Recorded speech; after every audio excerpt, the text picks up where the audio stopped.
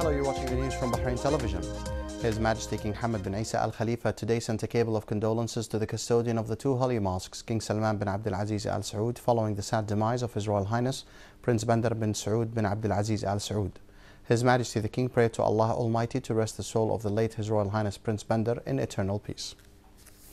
And His Royal Highness the Prime Minister Prince Khalifa bin Salman Al Khalifa today sent a cable of condolences to the custodian of the two holy mosques, King Salman bin Abdul Aziz Al Saud, over the sad demise of His Royal Highness Prince Bandar bin Saud bin Abdul Aziz Al Saud.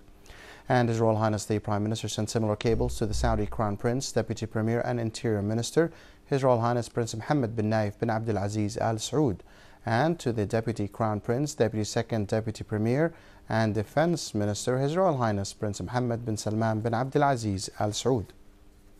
and His Royal Highness the Crown Prince, Deputy Supreme Commander and First Deputy Premier, Prince Salman bin Hamad Al Khalifa, today sent a cable of condolences to the custodian of the two holy mosques, King Salman bin Abdulaziz Al Saud, over the sad demise of His Royal Highness, Prince Bandar bin Saud bin Abdulaziz Al Saud. His Royal Highness the Crown Prince prayed to Allah Almighty to rest the soul of the late His Royal Highness Prince Bandar in eternal peace. And His Royal Highness the Crown Prince sent a similar cable to the Saudi Crown Prince, Deputy Premier and Interior Minister, His Royal Highness Prince Mohammed bin Naif bin Abdulaziz Al Saud, and another cable to the Deputy Crown Prince, Second Deputy Premier and Defense Minister, His Royal Highness Prince Mohammed bin Salman bin Abdulaziz Al Saud.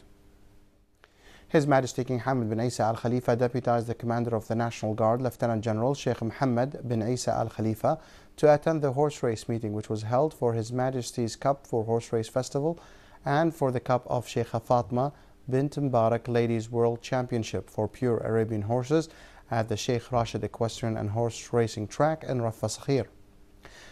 At present were the President of the Royal Equestrian and Horse Racing Federation, Sheikh Faisal bin Rashid Al Khalifa, senior officials and diplomats. The event comprised six races. At the end of the race, Sheikh Mohammed bin Isa Al Khalifa presented the cups to the winners.